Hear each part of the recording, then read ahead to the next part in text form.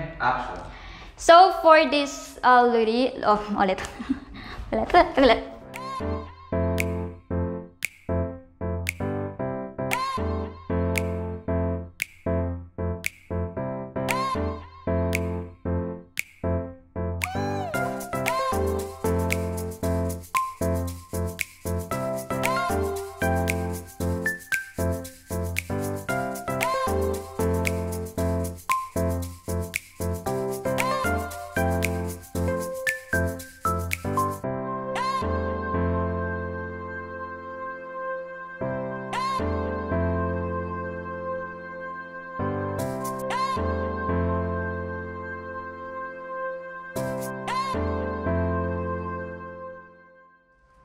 Good day everyone, this is Belle and welcome to another episode of Unbags Properties PH Open House Tour.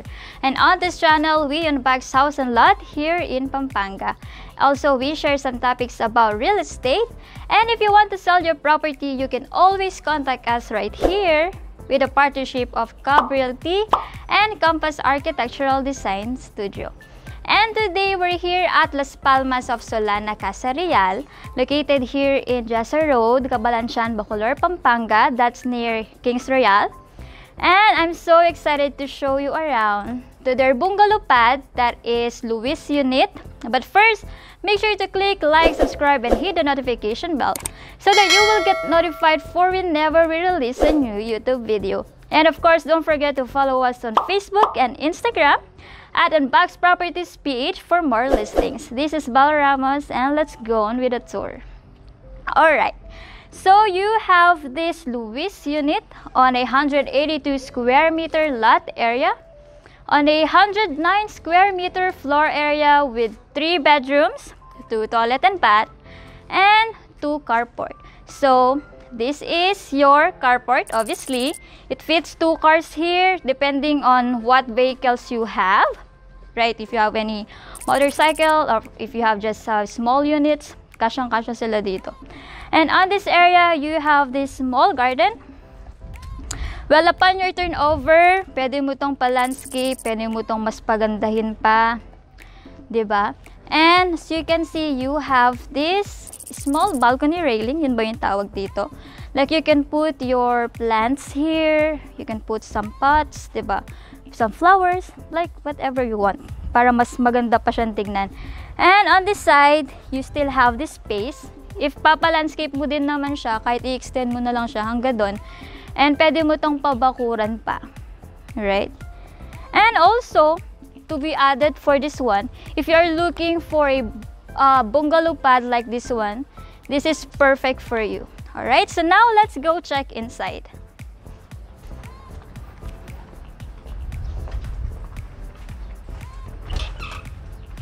So upon entering, you will be immediately greeted by your living area and also your dining area. So as you can see, it is also spacious as you can tell right? You can put some wall dividers here. You can put some wall partitions, di ba? Ang dami ng mga decorative na mga wall partitions ngayon na pwede nyong ilagay na para mas maganda pa yung uh, living area ninyo, also your dining area. So you can put your sala set here. And take note guys that all furnitures here are not included, okay? But kung ano yung nakikita nyo, ganyan na ganyan na yung actual turnover. So take note. Take note to that. so now you have this dining area. It fits six seaters, dining table. You have this large window also. And let's go here. Because on this side, this will be your kitchen area. More storage. When you get this one, mga storage na to nandyan na. Also, this built-in cabinets. You have this one sink and one faucet. You have that outlet, paglagyan ng mga appliances, pagsaksakan ng mga appliances ninyo.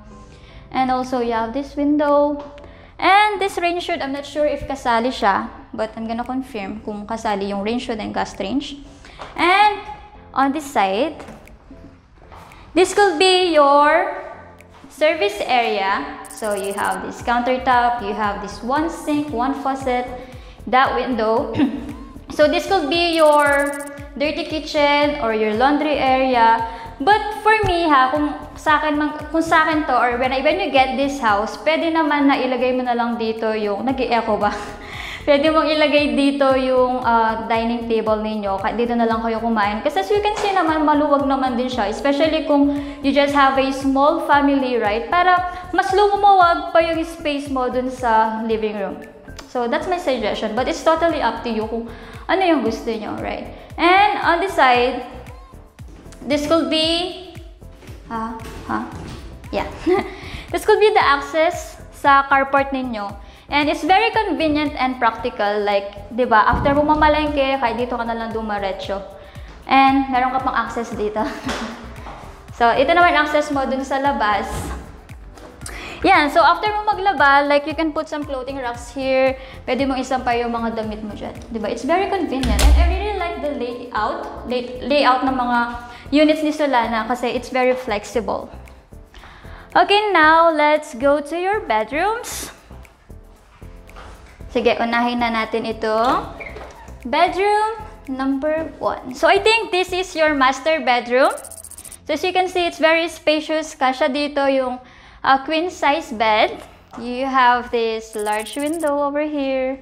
And also, you have this ensuite, toilet and bath. It is also fully finished. Sige, pakita mo. Kompleto na yan. You have that shower already. And also, when you get this house, pwede ka maglagay dito ng mga built-in cabinets, some vanity area, some table for your computers, or diba kung nag-work from home ka, pwede dyan. Kasi it's very spacious naman. It's very maluwag. And you have this vertical window, diba ang cute nila. Oh, yan. That it gives more light and for ventilation na din, diba? So now, let's go to your bedroom number 2.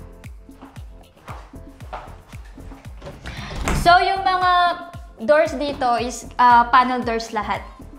Kung napansin nyo.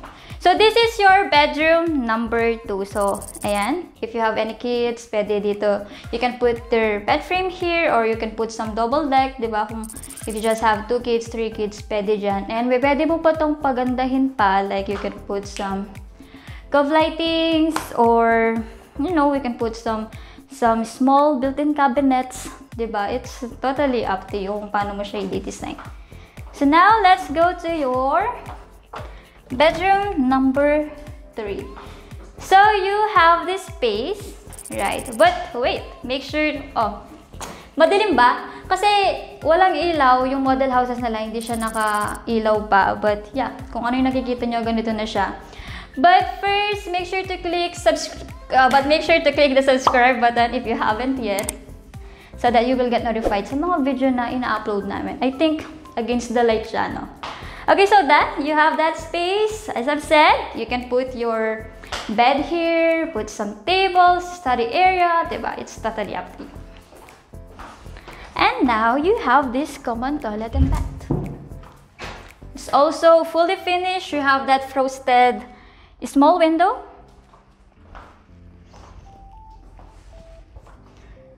And then, ayan. So that's it for this bungalow pad. And let's have some recap. So for the Wiz unit, you have 182 square meter lot area and a 109 square meter floor area with three bedrooms, two toilet and bath. You have service area that will be your dirty kitchen or your laundry area and it's very flexible. As you can tell naman sa video, kahit bungalow pad siya, spacious pa rin siya and you can do whatever you want. So, when you get this house, pwede mo itong pa-extend, pa-redesign, and I also recommend Compass Architectural Design Studio because they offer design and build services. They can really help you design your dream house, right? We're going to put their Facebook page down below so that you can check them out. Alright, so for the amenities, you have the clubhouse, children's playground, extensive street lighting, you have swimming pool, events place, and also you have the Spanish-inspired church. So, hindi mo na kailangan lumabas pa para magsimba because you have the church already sa subdivision. And you have 24-7 security, and a property management services. Alright, so if you know anyone who are looking for this kind, especially this bungalow pad, 'di ba? Especially sa mga ibang tao talaga is prefer nila yung mga bungalow lang din. Especially kung may mga elderly kayo nakasama. Yan, perfect yung bungalow pad. You can send us a message or follow us on our Facebook and Instagram account at Handbags Properties PH, helping you bring out your dream investment into reality. Call us and we'll make it happen. Thank you for watching up until the end of this video. Once again, this is Bal Ramos and see you on the next open house tour. Bye for now!